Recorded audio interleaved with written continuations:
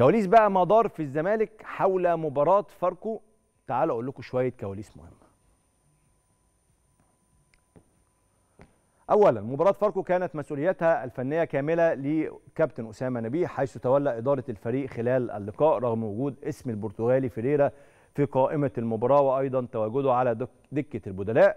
كما أن نبيه هو من ألقى المحاضرة على اللاعبين قبل اللقاء وأيضا هو من أعلن التشكيل الرسمي للفريق. ثانيا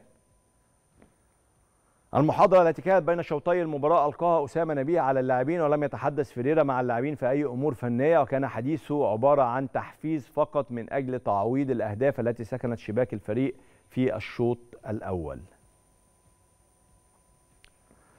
ثالثا خلال المباراة فيريرا لم يتدخل في الأمور الفنية إلا في أمرين فقط. الأول هو استفساره من أحمد عبد المقصود مدرب الفريق عن سبب تغيير مصطفى الزناري ودخول المدافع الشام محمد طارق بدلا منه حيث أبلغه عبد المقصود بإصابة الزناري بشد في العضلة الخلفية. والأمر الثاني هو طلبه من الجهاز الفني سرعة تغيير الزناري بعد أن رفض اللاعب الخروج في أول مرة وتجدد إصابته بعدها حيث حذر فيريرا من تفاقم الإصابة. بعد المباراة خرج الجهاز الفني للزمالك بالكامل مسرعا من الملعب إلى غرفة خلع الملابس باستثناء فيريرا الذي وقف أمام الممر المؤدي إلى غرفة الفريق من أجل تحية اللاعبين ودعمهم نفسيا ومعنويا.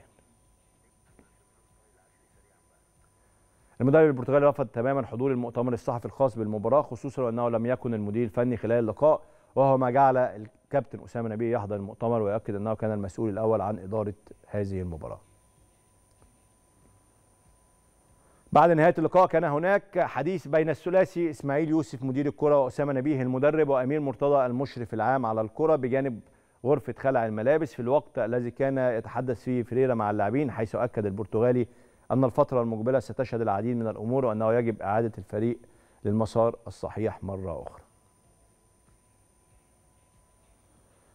سابعا فيريرا سيبدا دوره مع الفريق من الثلاثاء استعدادا لمباراة شباب بلوزداد الجزائري يوم الجمعة المقبل في الجولة الأولى بدور المجموعات من بطولة دوري أبطال أفريقيا.